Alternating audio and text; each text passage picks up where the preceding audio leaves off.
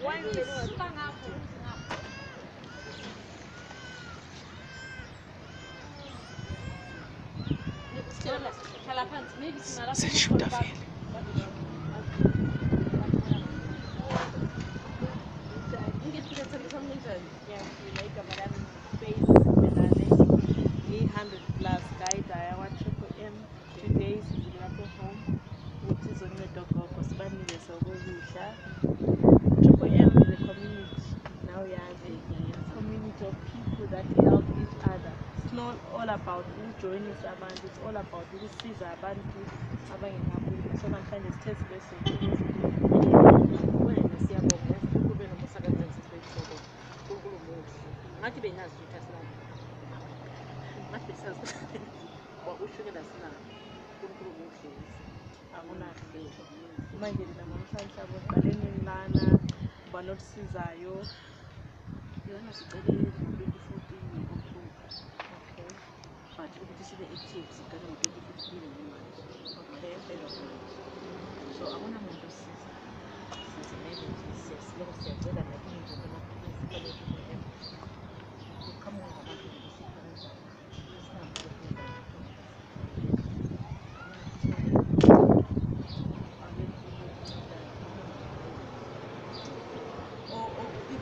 leyi ikhetha for abantu abayigaya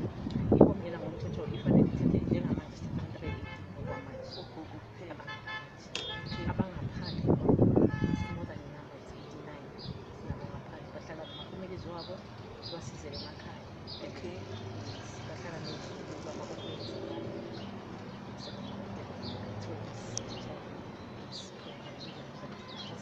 nakule-h i v delivery ekho futhi oncedayo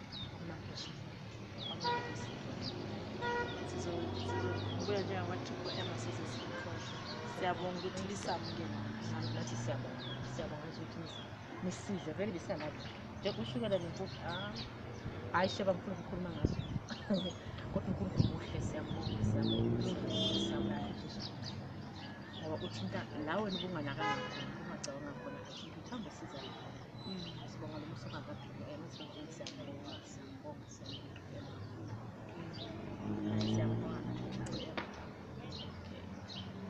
nje le bhodi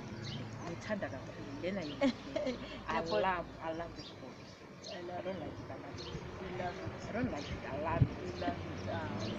nathi ushukulemu siyakuthanda kakhulu